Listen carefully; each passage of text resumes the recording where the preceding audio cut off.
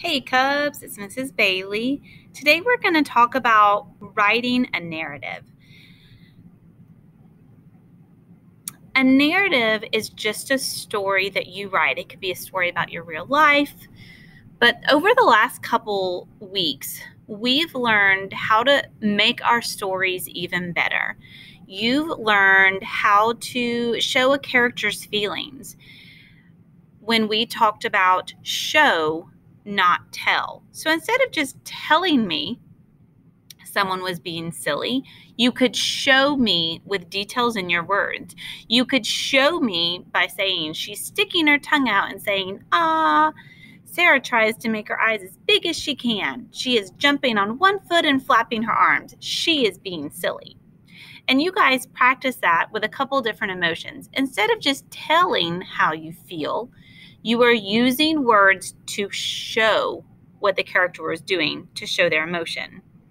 We've also learned how to build a sentence, how to take one simple sentence, like I saw a baby, and add lots of details by asking ourselves questions like who, where, how, why, and what. So instead of just saying, I saw a baby, I could really build that sentence and say, I saw a tired baby crying loudly at the grocery store because he dropped his pacifier on the ground. That is so much better with all of that detail. Then last week, we learned how to make great beginnings to a story. Instead of just saying, One day I went to the beach, we went to the lake, I went to school, we learned how you could write a great beginning by describing the setting, using a sound, having a character start at the very be- talking at the very beginning or even starting with action words or some great verbs. So, all of these pieces that you've learned over the last three weeks are really going to help your stories be even better. So, now it's time to put all of those new writing skills together to write your own story. This is what your story must have. You can choose the topic. It could be something that you've done recently, something you've done long ago. It could even be one that you make up in your head. But it has to have a great beginning using one of the new beginnings we've learned.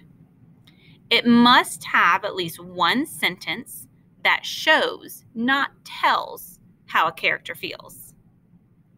And it has to have at least one sentence that is so full of details, your reader is going to be very impressed.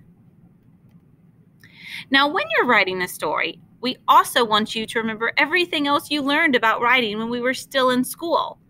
Your story also must have capitals for every single sentence, correct punctuation at the end of sentences Make sure you don't have any run ons, sentences that just keep going, going, going, and never stop.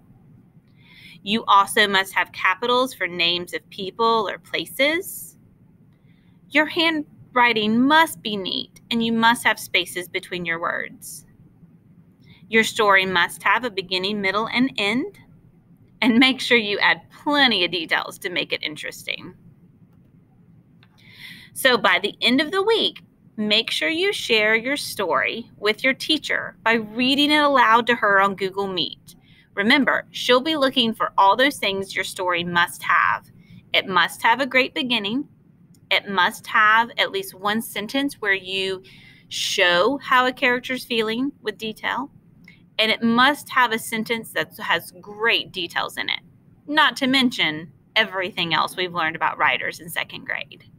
Good luck, Cubs! Have fun writing.